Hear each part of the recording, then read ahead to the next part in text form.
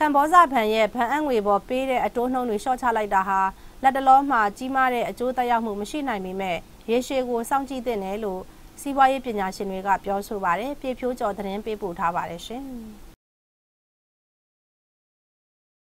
ကမောဇဘဏ်ကနေစုငွေနဲ့စည်ရင်းတွေအငွေတွေကိုပေးတဲ့အတိုးနှုန်းတွေကိုလာမယ့်မေလ၁ရက်နေ့ကစပြီး1ရာခိုင်နှုန်းကနေ1.3ရာခိုင်နှုန်းထိရှော့ချမယ်လို့ထုတ်ပြန်ထားပါတယ်။ မြန်မာနိုင်ငံရဲ့ပုဂ္ဂလိကဘဏ်တွေထဲမှာအငွေအများဆုံးလက်ခံထားတဲ့ဘဏ်ကြီးဖြစ်တာကြောင့်အငွေအတွက်အတိုးတွေအများကြီးပေးနေရတဲ့အပြင်ဘဏ်ရဲ့ဝန်ဆောင်မှုအတွက်အသုံးစရိတ်တွေကြောင့်တိုးလျှော့ပေးနေတာလို့ပညာရှင်တွေကပြောပါတယ်။ပို့ကုန်ကိုအဓိကမထားဘဲနဲ့သူတို့ဟာဒီဂျားကန်စိတ်ကန်းလုပ်လုပ်ငန်းကိုအဓိကထားပြီးတော့ဒီ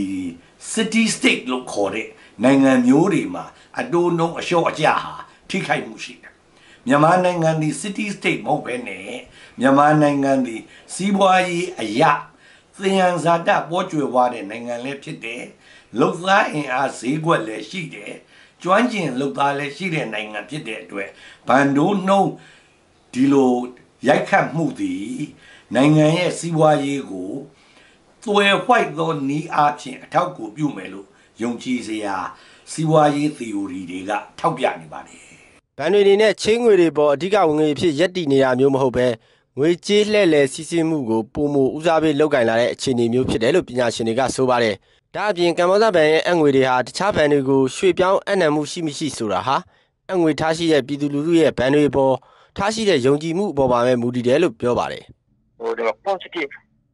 real interest rate ပေါ့ positive real interest rate ဆိုတော့ဥမာဟိုမှာ6 900ကန်တော့ပဲဆိုပါစို့ နော်ဟိုမှာ800ကန်တော့ဆို300ကန်တော့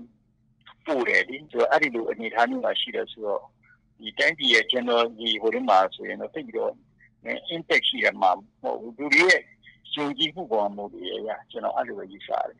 ကမ္ဘောဇဘဏ်ဟာဘဏ်ခွဲများတာကြောင့်ပြည်တွင်းမှာအငွေအများဆုံးရရှိထားတဲ့အပြင်ငွေပေးငွေယူကိစ္စတွေမှာငွေလွှဲရလွယ်ကူတဲ့အတွက်နယ်မြို့တွေကအငွေသမားတွေဟာတခြားဘဏ်တွေကိုပြောင်းဖို့မလွယ်ကူဘူးလို့လုပ်ငန်းရှင်တို့ကဆိုပါတယ်။ အဲ့ဒီမှာမှဒါအနေဆုံးပြိုင်ဆိုင်ချလာတဲ့ကမ္ဘောဇဂျန်တဲ့ဘဏ်တွေပါလိုက်ချလာမယ်ဆိုရင်တော့ဟိုဒီ saving ထားတဲ့လူတွေကမှဟလာဒီတူမကြိုက်တဲ့အတွက်အပြင်မှာစီးပွားရေးလုပ်မယ်လို့ငွေဘဏ်တွေကနေထုတ်ယူလိုက်လို့ရှိရင်တော့ဟိုစီးပွားရေးထိုက်တဲ့နဲ့လေပတ်မှုရှိနိုင်တယ်လို့ယူဆတယ်လက်ရှိတော့ဒီကမ္ဘောဇဘဏ်တခုတည်းကြောင့်တော့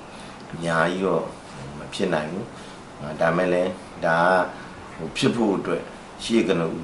အစပြိုးတဲ့သဘောမျိုးပဲမြင်ပါတယ်မြန်မာနိုင်ငံမှာပြည်တွင်းအငွေပမာဏများပြားနေတဲ့အပြင်လက်တလောငွေကြေးဖောင်းပွားမှုကျဆင်းနေတာကြောင့်ဘဏ်တွေဟာချင်းငွေအတွက်အခက်အခဲဖြစ်ပေါ်နေပါတယ်တခြားပုဂ္ဂလိကဘဏ်တွေကတာဝန်ရှိသူတွေကတော့လက်တလောမှာကံမောဇဘဏ်ကအငွေတွေကိုပြောင်းပြီးတော့လာအပ်နေတာမျိုးမရှိသေးဘူးလို့ပြောပါတယ်ကျွန်တော်ပြဖြိုးကျော်ပါ